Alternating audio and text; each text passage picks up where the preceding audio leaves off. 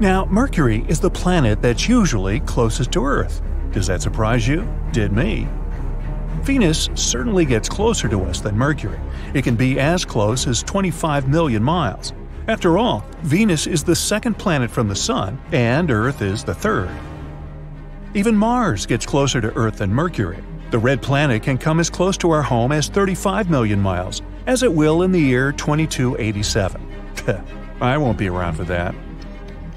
The average distance from Earth to Mercury is 48 million miles, but Mercury is still usually the closest planet to Earth. That's because Venus is usually somewhere on the other side of the Sun for 112 days, and Mars is usually far away in its highly elliptical, almost two year long orbit. That leaves Mercury zipping between the Earth and the Sun every 44 days, and thus usually closer to Earth than either Venus or Mars. Hey, good trivia question to pull on your friends, isn't it? 22 spacecraft have successfully flown to Venus, and over 30 spacecraft have flown to Mars, but only two have ever gone to Mercury. So, what's so hard about going there?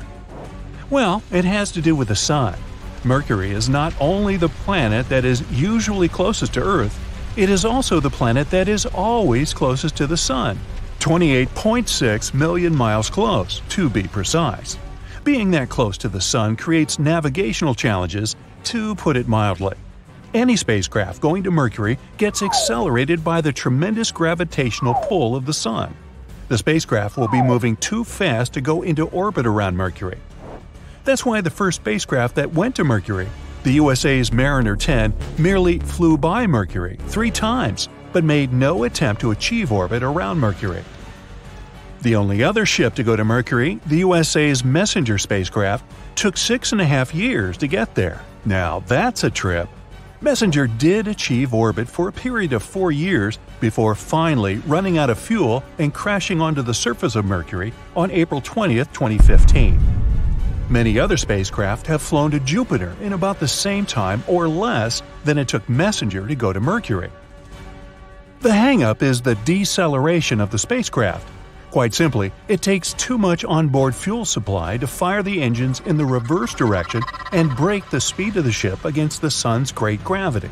Slowing down sufficiently to get into orbit around Mercury is a no go using rocket power. Some other way had to be found to slow Messenger down, a way that didn't use much or any fuel.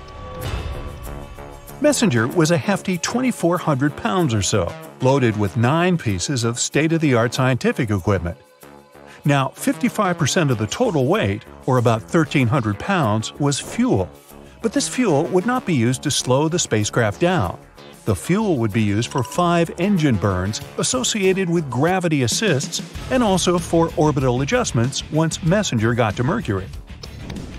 Now, gravity assists uses the gravity of a planet and the planet's orbital velocity to either speed up or slow down a spacecraft. If the ship approaches a planet at a forward moving angle, that is, an angle in the direction the planet is revolving around the Sun, then both the planet's gravity and the orbital velocity of the planet give the spacecraft a slingshot boost, greatly increasing the speed of the craft and sending it off in a different direction. This boost in speed can be added to by the spacecraft firing its rocket engines at just the right time. Both of America's Voyager probes use Jupiter's massive gravity to slingshot them to the outer gas giant planets and eventually out of the solar system. Gravity assist can also be used to slow down a spacecraft, as in the case of Messenger. By entering a planet's orbital path ahead of the planet, the planet's gravity pulls back on the spacecraft and slows it down. An engine burn is necessary at this time to escape the orbital path of the planet. Messenger performed one gravity assist flyby of Earth, two gravity assist flybys of Venus, and three gravity flybys of Mercury. Only then had Messenger been slowed enough to enter into orbit around Mercury.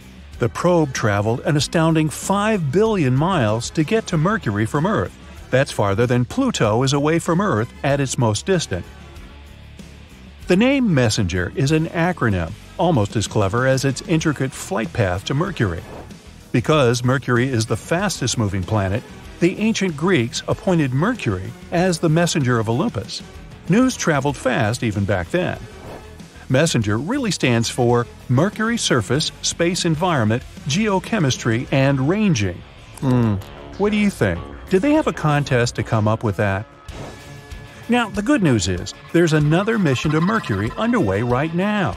It is a combined ESA JAXA space mission that is bringing two orbiting satellites to Mercury.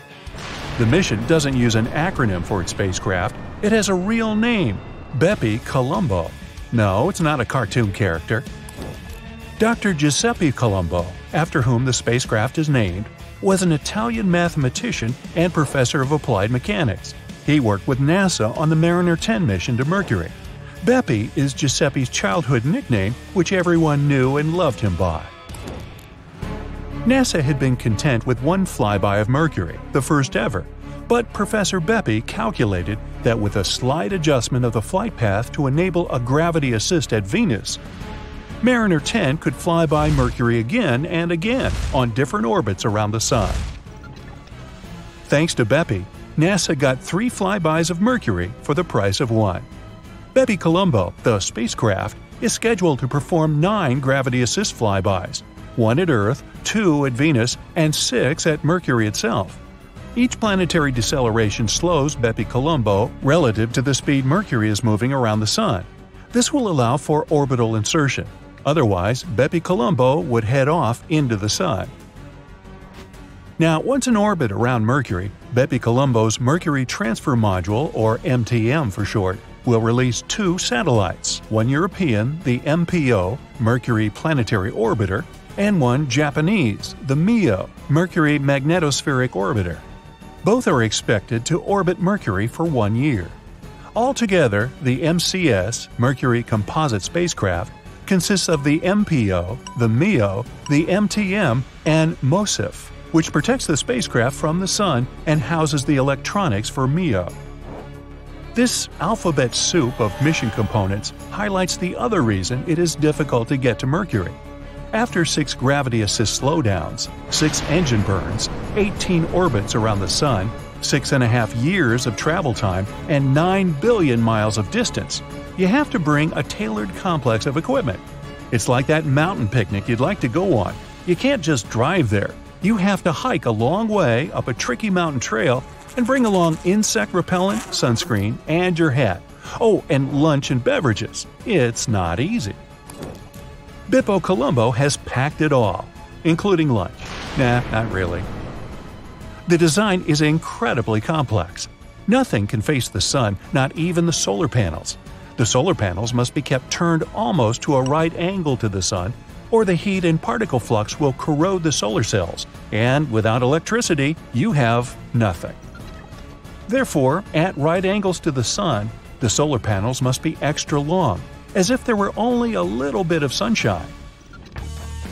Bepi's solar panels are 50 feet long. The sunshield must remain gyroscopically aligned towards the sun so that all instruments are always in the shade but still have a line of sight to what each is meant to monitor.